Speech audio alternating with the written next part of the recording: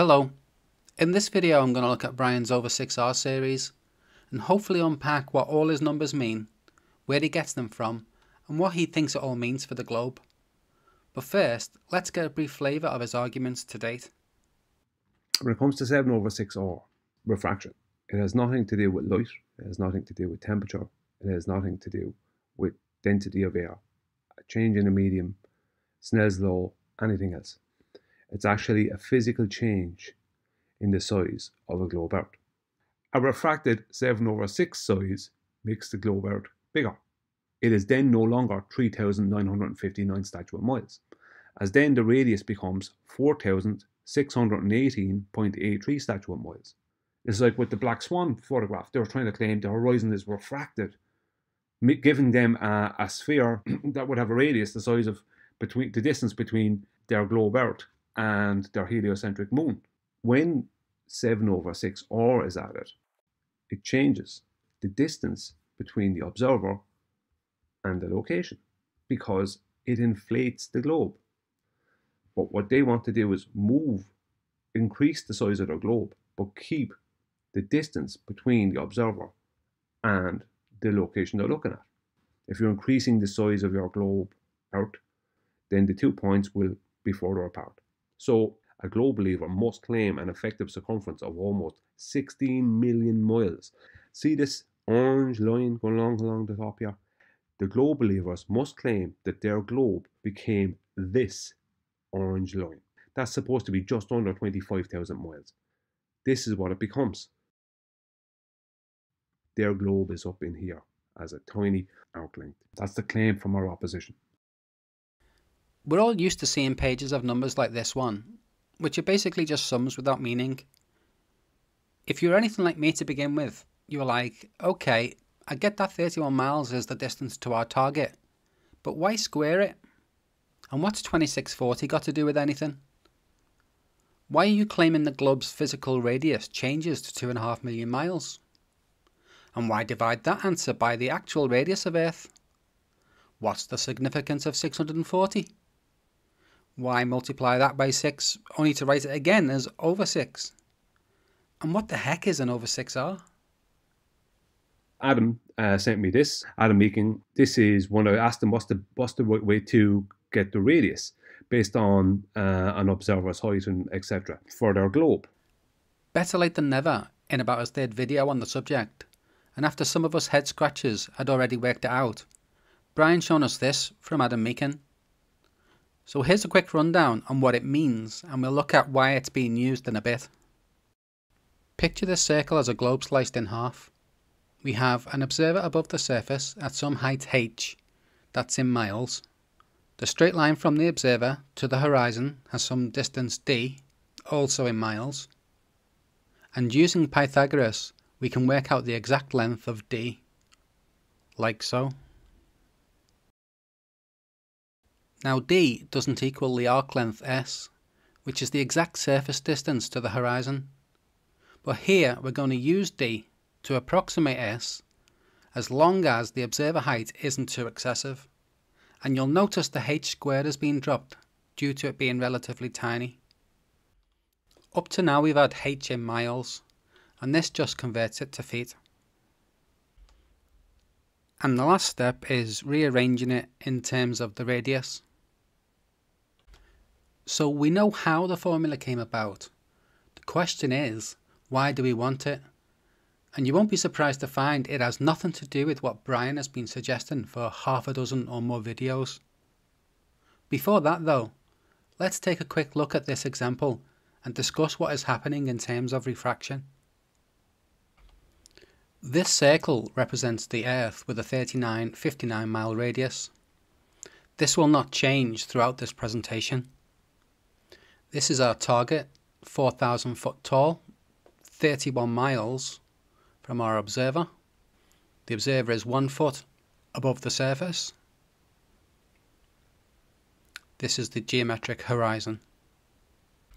The dotted line is a light ray leaving the top of this tower and it's gradually being bent down due to refraction, making its way into the eye of the observer.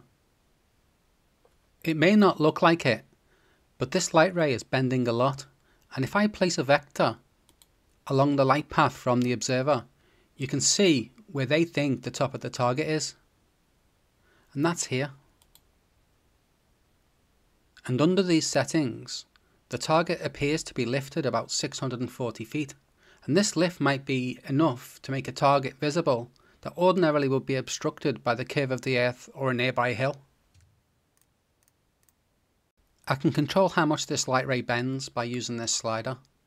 I have it ranging from 0, where the radius is infinite, i.e. a straight line, to just under 1. The refraction coefficient is the ratio of the Earth's radius to that of the light ray's radius. Now, these measurements and calculations assume straight lines of sight, and the geometry is made much simpler by utilising an effective radius for the Earth. Don't get me wrong, nothing has changed geometrically.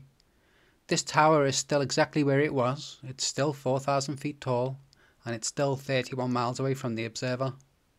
The amount by which the radius is scaled up depends on refraction factors such as these. Multiplying the actual radius by a refraction factor such as 7 over 6 gives us an effective radius of 4618 miles and you can calculate the refraction factor from the refraction coefficient and vice versa. So if you remember what the d represented here, it was the distance to the horizon right. And when it's plugged into Adam's formula, we get the effective radius.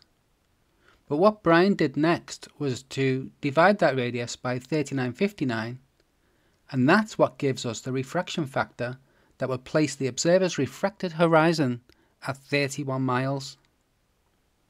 So if I switch off the light ray, turn on refracted objects, refracted horizon, which is this little red cross that's just appeared, and it's 1.322 miles from the observer.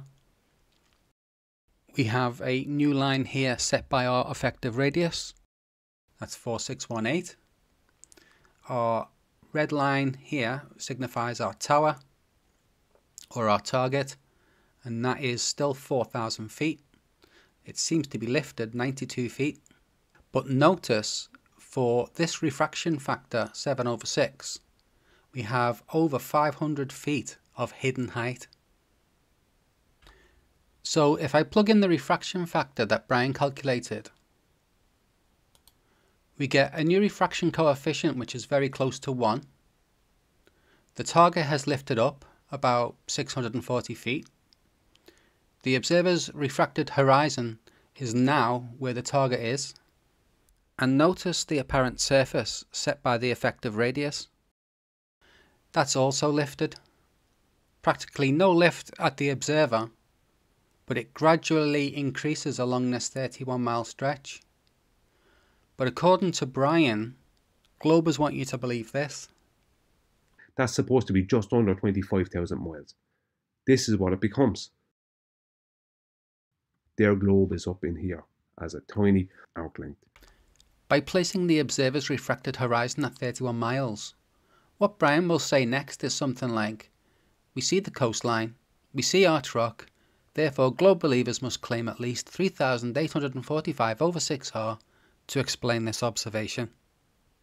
And that's the flaw in his logic, because for that statement to be true, he needs to be able to say categorically that we can see all of the target in question because, as you can see, there's supposed to be no hidden amount at all and all of it's supposed to be visible for the refraction factor that he calculated. I'll show you what I mean. Let me see if I can get one foot of hidden amount here.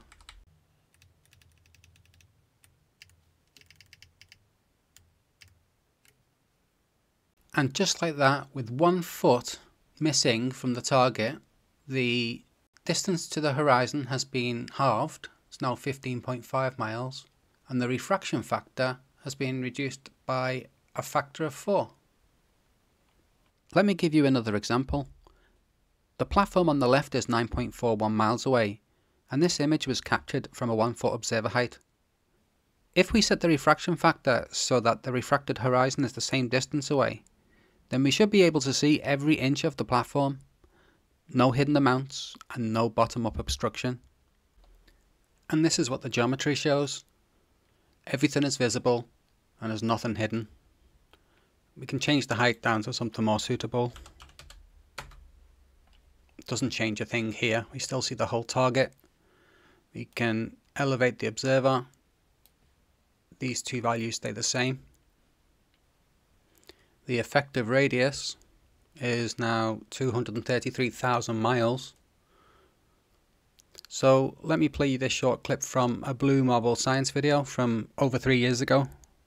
The content creator made two uh, videos. He made one from a 35 foot elevation. This is a screen capture from that position. He made a second one from a one foot elevation. Here's a screen capture from that. I wonder what happens if we impose the 35 foot screen capture on top of this one foot elevation screen capture.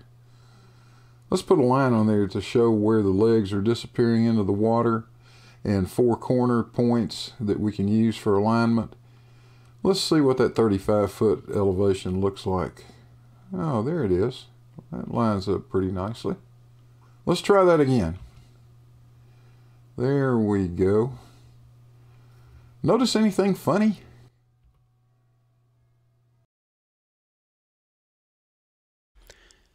Currently we have 354 over 6Rs on the Brian scale and clearly there were several feet missing. So let me just adjust the slider here to achieve just one inch of hidden height and then see how many over 6Rs we get then.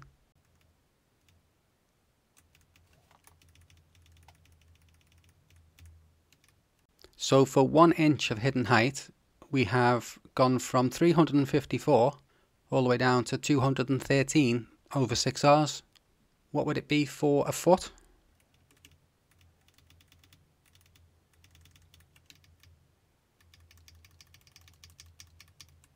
And that is down from 354 to 88 over 6Rs. Right, on this day, for this man to see a 31 mile away point with a one foot observation height, the globe believers must claim that their globe, right, became this orange line. Don't get fooled by such nonsense. This is what normal days look like, but will Brian focus on these? Of course not. Best stick with the hazy images taken from one foot on the days when the conditions are most unstable. You've got to maximise that distortion. That's it for this one all very silly, but I had fun constructing the geometry and I'll link it in the description below. So thanks very much for watching and I'll catch you later.